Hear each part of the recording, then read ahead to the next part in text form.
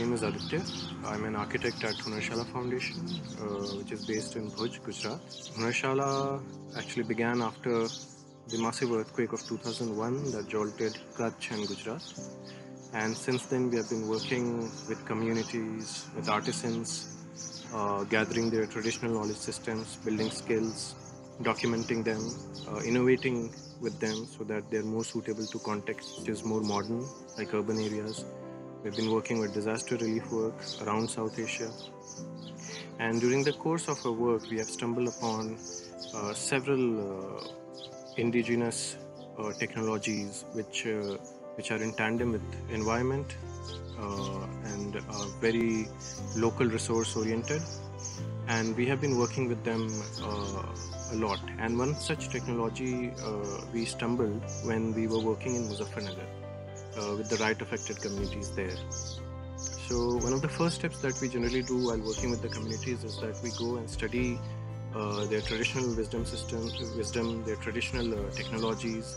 And uh, during the course of this study, uh, one of our teams uh, went to one of the older houses of this uh, community.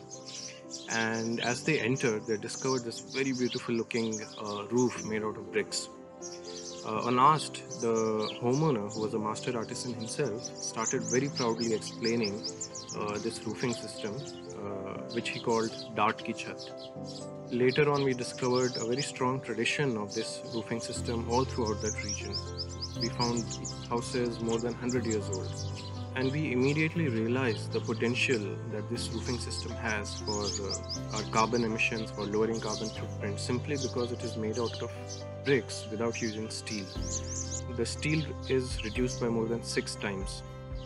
And also because it has a very low rise even though it's a dome, it has a rise of about 8 inches to 1 foot at the crown, uh, which makes this technology very suitable for multi-story buildings. Since the steel consumption is cut off, we have a very low carbon footprint.